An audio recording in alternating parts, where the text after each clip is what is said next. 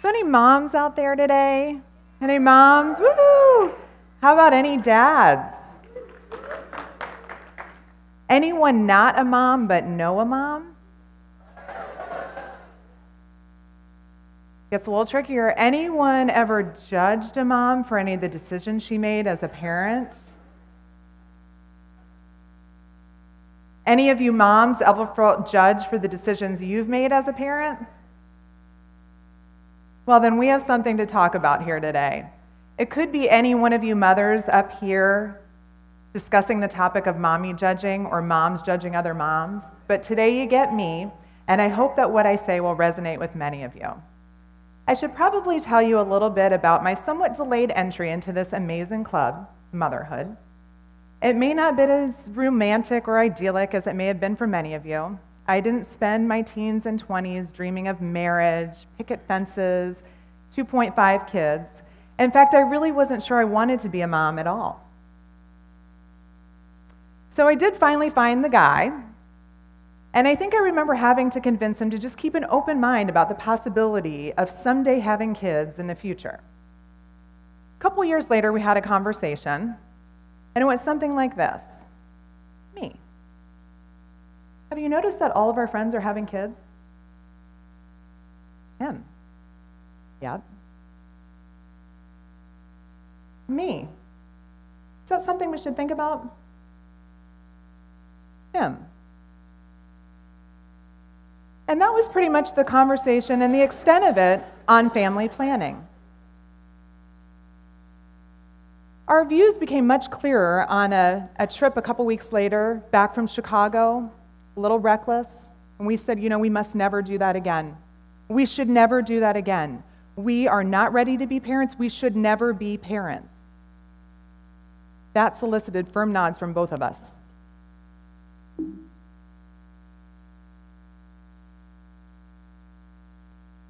So you can see it was too late. And what we found and what I found was that with inception, you and your body become public fodder. Perfect strangers felt it was okay to come up and put their hands on my stomach, an act that, absent the pregnancy, might otherwise have resulted in an arrest.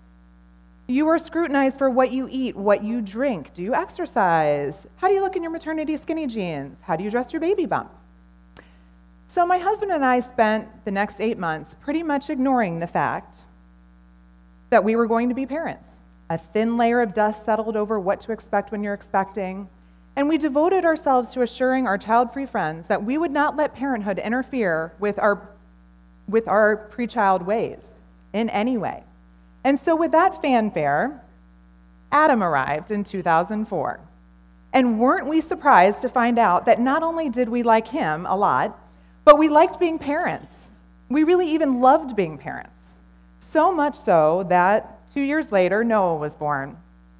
And since you are all now privy to our conversation on family planning, you might not be surprised to hear that Sarah arrived two years after that.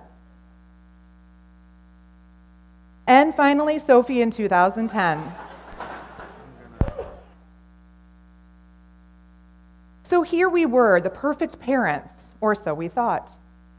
We couldn't turn out, tune out the voices of the others the parents, the non parents, the grandparents, the strangers. You know, the subtle looks, the comments, the judgments. They were rampant and free flowing. As one mother said, motherhood is a competition that nobody ever meant to enter. And we care so much about it because it's the job that we care about most. So let's look at some of the ways that moms are judged. Really, the question is how are moms judged, but we'll look at the ways they are. The first decision that you'll have to make, well, that is after you decide whether or not to have an epidural, and you'll definitely be judged for that, is what you're going to feed this new little darling. Will you take advantage of the pre prepared bottles of formula waiting for you by your bedside when you bring that baby back into the room? Ooh, careful.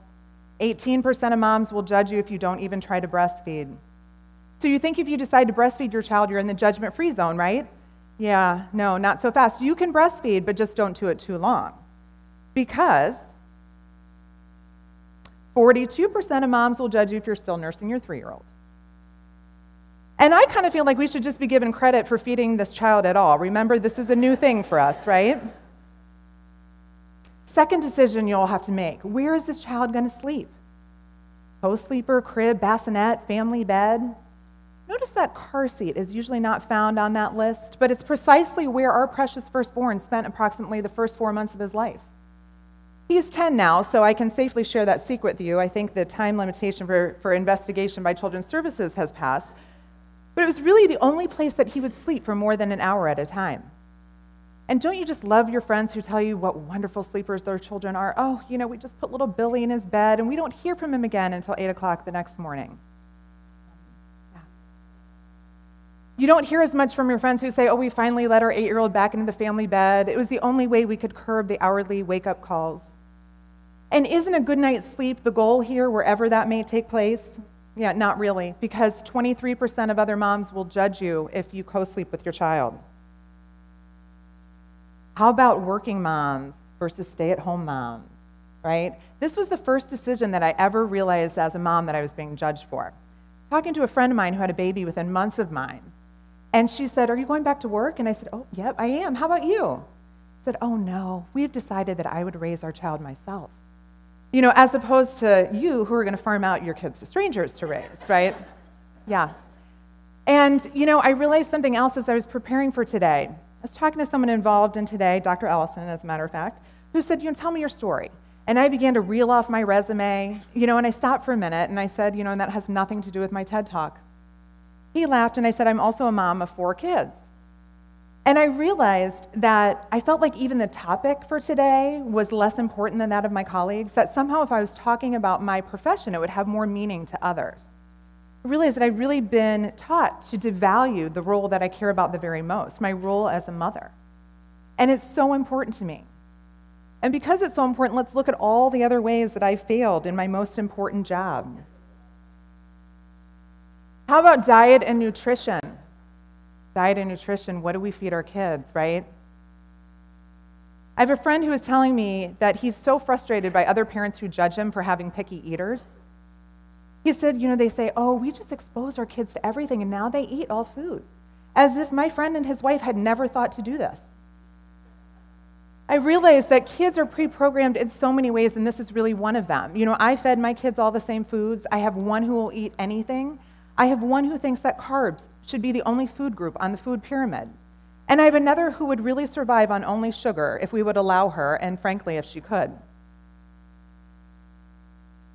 But before you prepare your child's next snack, think 37% of mothers will judge you if you have a child who's overweight, and 34% of other mothers will judge you if you give your child junk food.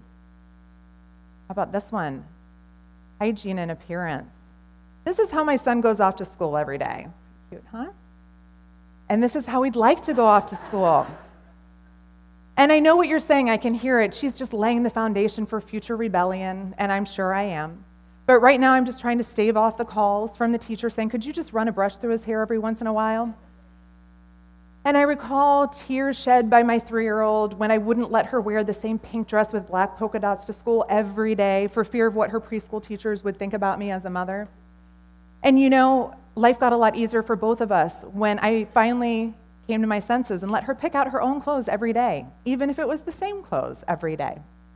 What I realized is that those other three year olds didn't seem to notice or care what she wore. Technology, oh, a whole new way that we can judge other moms, right? Because we're not just talking about TV here, we're talking about iPads, iPods, Xbox, Facebook, Twitter, Instagram. Anyone let their child, their 10 year old, have a Facebook account? Oh, way too lenient. Bad parenting decision. Anyone not allow your 10 year old to have a Facebook page? Oh, how old fashioned. You're really isolating your child from his peers, right? And you know, I realized as I answered a friend of mine's question about whether or not we allowed our children to watch TV, and I said, oh, well, we do, but of course we limit what they watch and what they watch and when they watch it, and they're not allowed to use electronics during the week, only on the weekends. And I thought, whew, good thing I'm not at all defensive about that, right? She didn't even care about the one. But I have reason to be because 32% of other moms will judge me if I let my child watch too much TV or play too many video games. Last one, plane travel. Anyone ever traveled with a child on a plane? You've probably been like me, red faced, sweating, heart racing as your child kicks the seat in front of them, you know, for the hundredth time while screaming at the top of their lungs. And times are changing because you can get kicked off a plane for that behavior now. And don't let the presence of other moms comfort you. No. Mm-mm. 66 of other moms will judge you if they think your child's a brat. Yeah, yeah. So, why do we judge? Why do we do this? We judge because we all want to be the best at what we do. We've learned early on that in order to achieve, we must distinguish ourselves from others, whether it's for a role in the school play, a spot on the team, or a seat in student council. Women also are raised with societal standards of beauty and appearance, and we're taught to compare ourselves to other girls and then other women. I remember my daughter coming home from school and she'd tell me about her friend Rosa's latest hairstyle. I mean, every day. You know, today, mommy, it was braids with a purple streak, so pretty. And having seen it myself, I can't blame her for being jealous because it really was very spectacular. And we judge ourselves because our own insecurities. You know, we're our own harshest critic. I think I'm a better mom because I balance a career outside the home with my job as a mom. But it doesn't stop me from feeling guilty that it takes time away from my kids. You know, I asked my 10 year old what one thing he would change about his childhood if he could change just one thing, and he said, I'd spend more time with you and dad. Uh, right? Um, I should have asked my other son because he would have said, I want a pool or a trampoline or something. And, you know, I wouldn't have felt half as bad at all. No, we judge our others so that we make ourselves feel better. You know, I may not be the perfect mom, but I'm better than that mom, right? We tear others down to build ourselves up. And we think about the decisions we've researched and agonized over every decision that we make as a mom, and we feel the need to defend them. You know, back in my mom's day, there were probably two main child rearing experts, Dr. Spock and Dr. Brazelton, right? You picked one and you went with it, okay? Cross your fingers. Now we have videos, we have books, we have blogs, we have podcasts on everything from pre chewing your child's food to what to store that food in. BPA free, of course, right? We really have not evolved at all. We're all trying to get it right. So, why is this bad for us, this judging? Why is it bad? mostly because it's damaging ourselves. We are slowly chipping away at our hearts, at our self esteem, and at our strength as mothers. And we're teaching our daughters to place too much importance on what others think. It limits productive and supportive conversation. You know, I was talking to a friend of mine who said, uh, My daughter, she's been so uncharacteristically sassy and emotional this summer. I said, Really? Mine too. What a relief it was to find out that I was not the only one navigating this new phase in my daughter's life. We cheat ourselves out of the support and understanding of other mothers because we're afraid of what they might think and afraid of being judged. And you know, we get so caught up in winning this competition into which we've been thrust that we lose sight of what really matters our children. Anna Quindlen wrote about the biggest mistake that she made as a parent, and that was not living in the moment enough. She says, particularly poignant now that that moment is gone, captured only in photographs.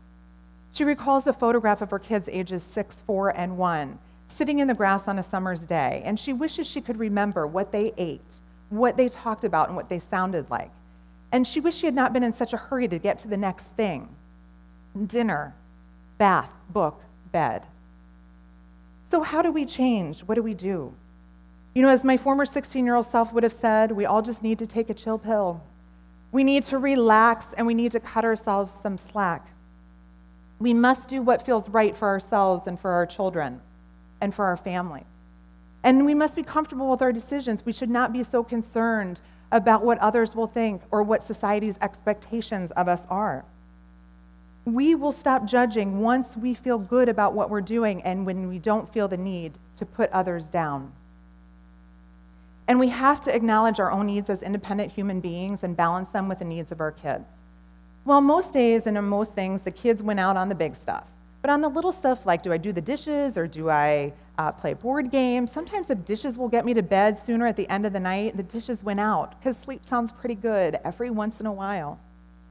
And you know, we have to realize that our kids will thrive whether or not we make the perfect goodie bag, the perfect Halloween costume, or the perfect cupcake. And don't get me started on Pinterest. I mean, I admire it, but. And we have to support one another. Criticism comes from all sides. We get plenty of feedback from our bosses, our coworkers, our family, and our friends. We have to learn and make it a priority to support one another.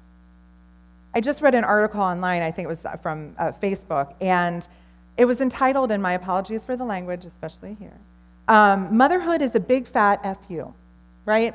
There are days when motherhood feels like the most thankless job in the world. And if we don't support each other on those days when our beloveds do not seem totally amazing, who will?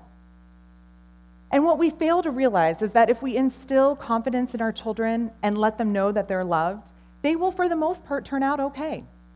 As my mom reminded me when I was freaking out over having eaten a turkey sandwich accidentally when I was pregnant, you know, listeria concerns, of course, she said, You know, Maara, some mothers smoke crack when they're pregnant, and some of those kids actually turn out okay. You are not going to screw up this baby with one turkey sandwich. And while I think we can all agree that smoking crack while pregnant not so good, I think we have to come together to say if you choose to breastfeed your child, great. If you choose to bottle feed, good for you. If you let your child co sleep with you, perfect. Car seat, still not so sure about that, but it worked for us. If you let your children have a TV in their room, fine. If you don't have a TV in your home, great. If you give your kids, kids Lucky Charms for breakfast, lucky them. If they get oatmeal, they're lucky too. What we have to realize is that there is more than one way to raise happy, healthy children. And in the end, we must not lose sight on the only thing that really matters happy, healthy, amazing, confident, loved human beings who will always be the center of my imperfect universe. I have made a vow to myself that I will be as compassionate, supportive, and understanding of other mothers, and that I will also be most confident in the mother that is now